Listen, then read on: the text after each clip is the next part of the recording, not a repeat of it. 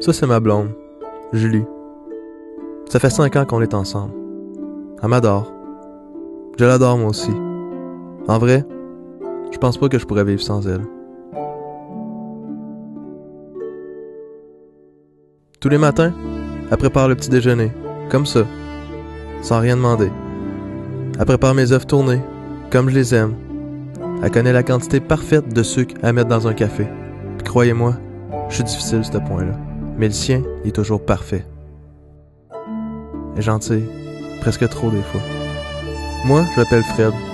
J'ai 22 ans, 20 pièces dans mon compte, puis à peu près 20 000 pièces de dette d'études. Pour gagner ma vie, j'achète des trucs sur eBay, puis je revends plus cher que je les ai payés. C'est mon petit dada.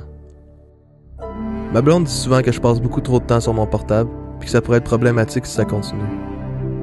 Mais je pense que c'est correct comme ça.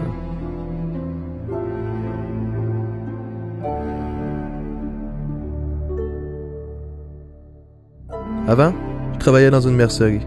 Je conseillais plein d'hommes d'affaires sans le moindre sens du goût dans le choix de leur prochain habit. C'en était vraiment pitoyable que de devoir faire des belles manières, des beaux sourires, des beaux merci monsieur, revenez nous voir, passez une belle journée, jamais de je vous emmerde, allez vous faire foutre monsieur. Sinon, j'étais à l'université. Je voulais rien savoir d'y aller en vrai, mais ça compte tellement pour mes parents. Pas de diplôme, pas d'héritage. C'est ça que mon père m'a dit. Puis croyez-moi, ça vaut à peine que je botte le cul un peu. En plus, qui c'est qui voudrait passer sa vie avec un loser?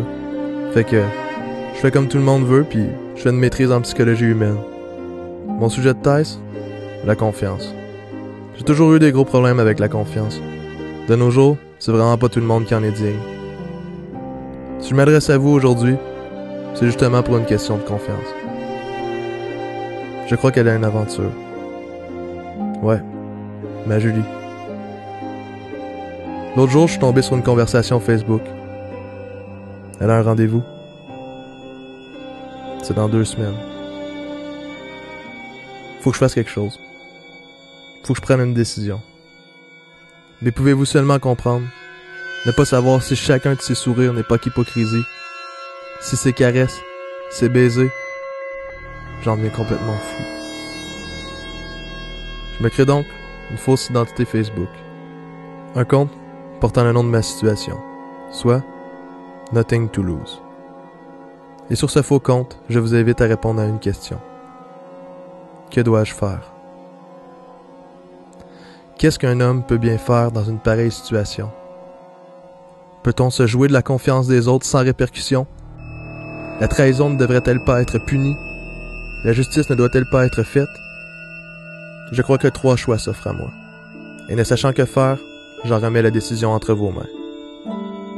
Je pourrais bien sûr choisir moi-même, mais je ne suis pas objectif, et toutes les émotions qui jonglent en moi viennent à coup sûr fausser mon jugement. C'est donc à vous de prendre la décision.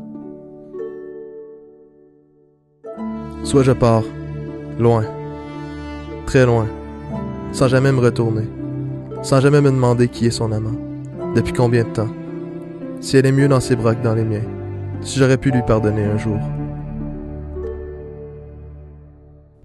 Alors, si je ne peux vivre sans elle, si elle ne peut être mienne, elle ne doit pas être sienne.